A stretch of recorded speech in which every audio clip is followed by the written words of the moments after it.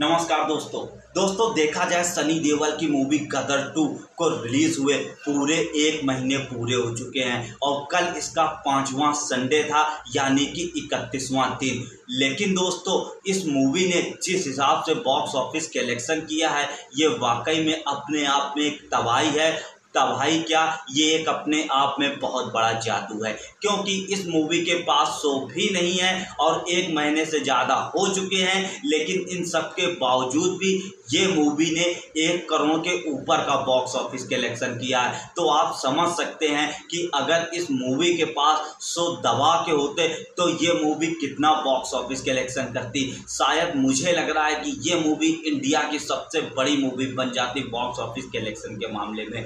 वहीं दोस्तों, अगर हम इसके कलेक्शन के बारे में आपसे बात करें तो कल यानी इस मूवी ने अपने संडे वाले दिन एक करोड़ छप्पन लाख का बॉक्स ऑफ़िस कलेक्शन किया है। इसका टोटल बॉक्स ऑफ़िस कलेक्शन हो चुका है पाँच सौ तेरह करोड़ इक्यासी लाख। ग्रॉस कलेक्शन की बात करें तो इस मूवी ने 604 करोड़ का आंकड़ा क्रॉस कर दिया है और वर्ल्ड वाइड के मामले में देखा जाए दोस्तों, इस मूवी ने 670 करोड़ का आंकड़ा क्रॉस कर दिया है। वहीं आज की बात करें मंडे की तो मंडे वाले दिन भी देखा जाए, ये मूवी छिहत्तर लाख का बॉक्स ऑफ़िस कलेक्शन कर रही है, जो अपने आप में बहुत बड़ी बात है। और अगर ये मूवी इतना कलेक्शन कर लेती है तो इसका कल के दिन टोटल नेट कलेक्शन हो जाएगा। 514 करोड़ सत्तावन लाख रुपए। ये अपने आप में दोस्तों वाकई में बहुत बड़ी तबाही है।